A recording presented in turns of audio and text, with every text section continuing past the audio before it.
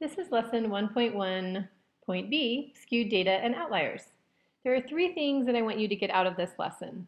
Um, the first thing is that given a set of data, I want you to be able to identify whether it's left or right skewed, or if it's just a normal distribution, bell-shaped. Secondly, I want you to understand how extreme values, called outliers, can and will affect the shape and mean of your data. And lastly, I want you to be able to know how to use the embedded calculator in your assignment coming up. So I'll show you that. So let's look at this first slide. Outliers are values that lie outside the other values. And you can see the outlier in each of these examples, different ways to um, describe them. So in the first one, you have a, a line um, that is plotted with the dots, and there is one point that is outside the line, clearly an outlier. Here you have a line plot and you have an outlier way far away from the rest of the data.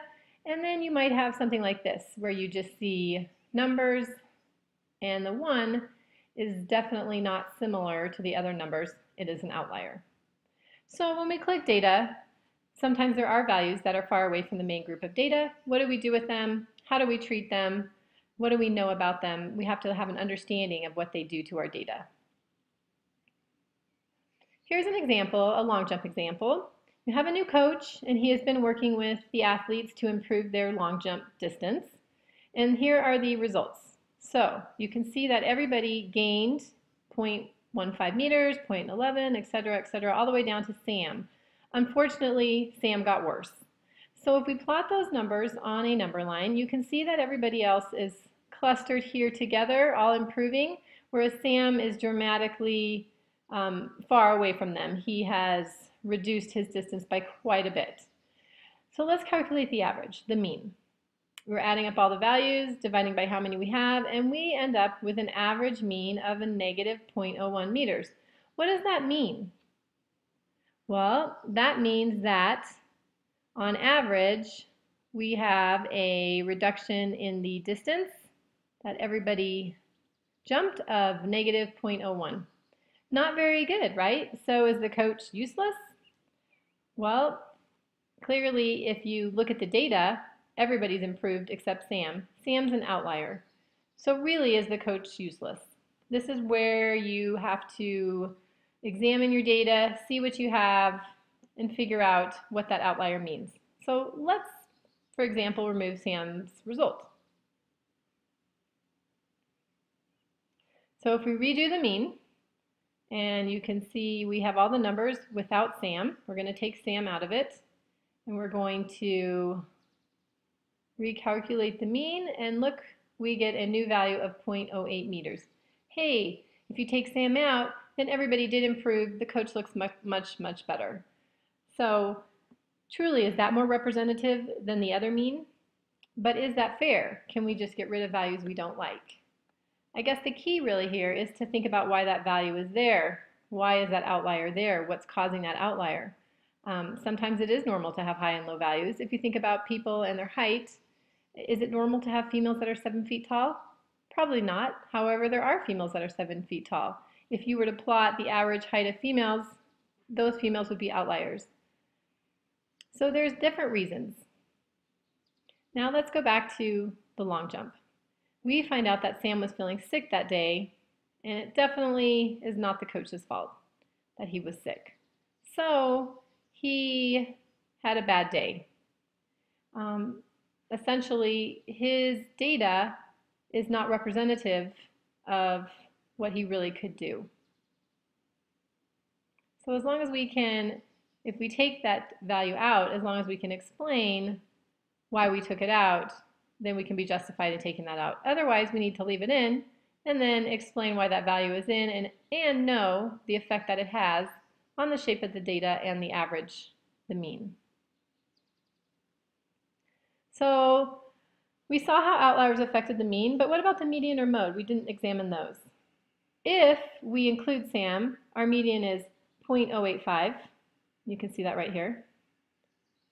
If we take Sam out, our median is 0.11. It went up a little bit, but very insignificant. And really that's more of a factor of the new middle value is now in a different location because we took a value out. The mode, on the other hand, those have not changed. They've stayed the same. They're both 0.06. So the mode and the median didn't change very much. They stayed the same. So the outliers have the biggest effect on the mean, not the median or the mode. So now let's look at the shapes of so if you recall from an earlier lesson, there are three categories that describe the shape of the data. There's symmetric, which is your normal bell curve. There is left skewed, and there is right skewed. We can use that classification for any set of data. So let's look at our symmetric distribution. The key thing to point out on the symmetric distribution is that the mean is equal to the median, as well as the mode in this example. On this symmetric distribution, the tails on the left and on the right are very symmetric, um, and you can think of this almost as a grading scale. Down here are your low values, so maybe these are your Fs. There are very few people getting Fs, but typically there are more people getting C's and then B's, D's, C's, B's, and then there are very few people getting A's. So that is your symmetric distribution. Here's another way to represent that, and that is with a box and whiskers plot. If you remember that the middle line on a box and whiskers plot represents your median. And let's increase that circle. So here is your median, and it's always going to be halfway between your quartiles. Out here to the left whisker is your lowest value, and up here to the right whisker is always going to be your highest value. All right, so let's move on to a right skewed distribution. So distributions can be right skewed or they can be left skewed. The key to this is understanding what this is over here. The reason that we call this right skewed is because there is an outlier out here which is skewing your mean, meaning that we have such a high number here that it's causing our average, our mean, to be greater than our median. So if we write that out, and I will use x bar to represent our mean, our mean is greater than our median when you have data that is right skewed. Another thing that's important to notice that if you were to calculate the first quartile, the median, if you'll notice this distance in here, is shorter than the distance out here. The median is closer to the first quartile, which is here, than it is to the third quartile. Let's look at a summary now. So we've got three different shapes of data. We've got symmetric, and as we said in a symmetric graph, we can say that our average, or our mean, is going to be equal to our median, which in most cases is also equal to our mode. When we're looking at skewed right or skewed left, now we are going to be comparing. So we're going to be comparing our mean or our average to our median in both of these.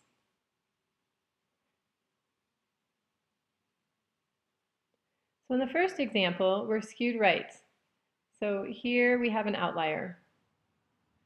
So what's happening to our average? Our average is, is gaining in value. Our average is gaining in value. So instead of being equal to our median, our average is now going to be greater than our median because our average is going to be moving to the right because of this outlier. In this far right example, now we have an outlier here on the left. Here's our outlier.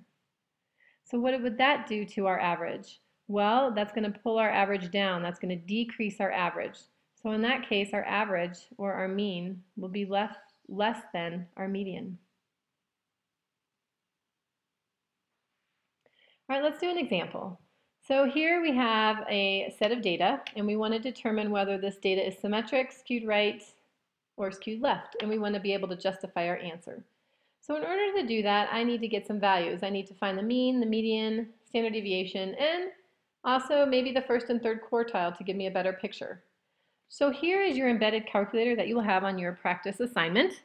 And what you do is you just enter in the data by typing it in. So I will type in 27, comma, without any spaces, 28, comma, 30, and I will continue on, so on and so forth until I have all the data entered. Okay, I've typed in all my data and now I'm just going to press calculate and voila, it is that easy. It pulls up how many pieces of data you have in case you need to verify that you've entered all the information. It gives you your mean or average and the standard deviation. That's all we'll be using from this calculator. So let's go ahead and record our information in the spaces provided. So our mean comes to 41.14. Our median we don't know yet. Our standard deviation, they're saying, is 10.65. And remember, that just represents how spread out the data is. So it's good to know um, that spread. And you can look at the data and see that, wow, we've got 62 up here on the upper end, and we've got 27 down here on the lower end. The data is pretty spread out, so therefore we have a fairly large standard deviation. So that's good for measuring the spread of your data. So now let's go figure out how to find the median and the first and third quartile. Well, the median, remember, is your middle number. If we have all the values in order, which we do, we just find the middle number. So we would count down until we'd get to 7, and 41 is at 7. And then we would count from the right side until we get to 7, which is 42. Those are our two middle numbers. So how do we find the median? Add those together, take the average, and we would get 41.5. So anytime there's two numbers, add them together and take the average. So now we have the median. Now let's figure out how to find the first and third quartile. Well, the first quartile is really just the median of the lower half of the data, the middle number. And we know there's seven pieces of data here, so it's going to be data number four. So one, two, three, four, 32 is going to be our first quartile. And then we can do the same thing with the third quartile. It'll be our middle number. So let's count and find the fourth piece of data. So we have 42, 43, 44, 46 is number four, and that's our third quartile. All right, we've found a bunch of key numbers. Now let's analyze this and draw a conclusion as to what type of uh, shape this graph would have. So here's what I've done is I've put the data into a box and whiskers plot and you can see that it's very hard to tell where this median is. Is this median closer to the left or is it closer to the right the quartile, the left or the right quartile, the first or the third quartile I should say. So here's all of our data and let's look. So it's mm, maybe I would say closer to the first quartile just from here but if I actually draw in where those are Right here is my first quartile. My third quartile I said was 46, which is here. And then it's clear that this is in fact closer to my third quartile. So we can conclude that the data is skewed left. So here's our two reasons. Comparing the mean and the median, the mean is less than the median by a very, very small difference. So we should look at how close the median is to our quartiles. Well, the median is closer to the third quartile, we said. Um, so therefore, we can say that this is going to be left skewed. All right, so now you're ready to move on and try the practice assignment. That is the next page. And now you know how to use your online calculator and see if you can analyze the data like we did here today.